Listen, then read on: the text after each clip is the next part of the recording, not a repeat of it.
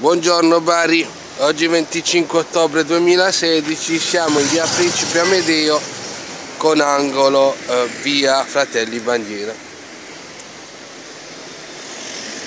Abbandono di ingombranti.